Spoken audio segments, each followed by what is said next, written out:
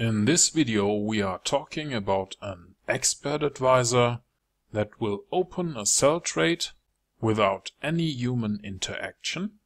It also has a take profit value and we have also set a stop loss that is 100 points above the current bid price and when the price rises far enough the stop loss will be triggered and the next trade will be opened.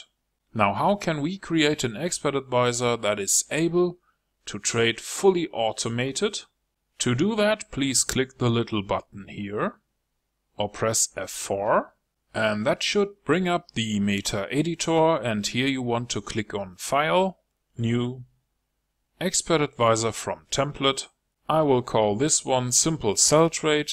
Click on Continue, Continue and Finish and now you can delete everything above the onTick function and the two command lines here.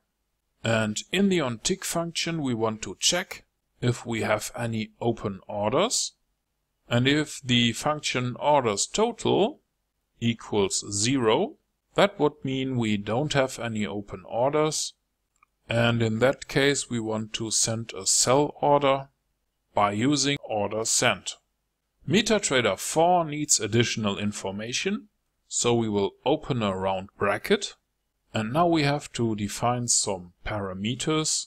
The first one will get the current pair on the chart by using the function symbol.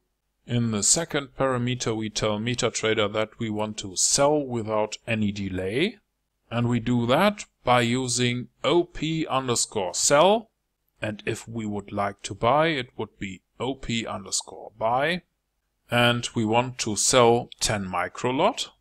That's 0.10.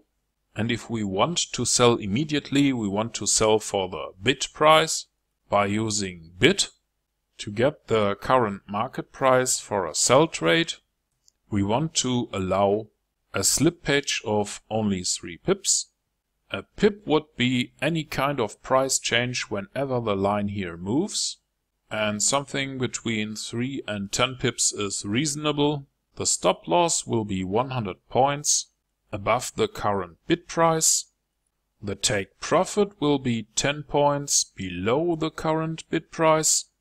We don't need any comment text we don't need an ID number, also called magic number, so we use a zero for this parameter.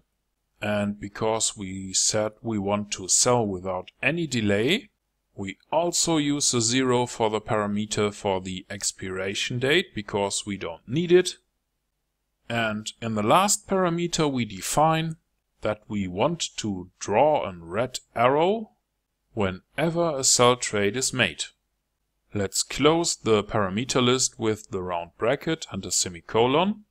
And now you can click on compile or press the F7 key on your keyboard. And that should work without any errors. And if that is the case, please click on the little button here or press F4 to go back to MetaTrader.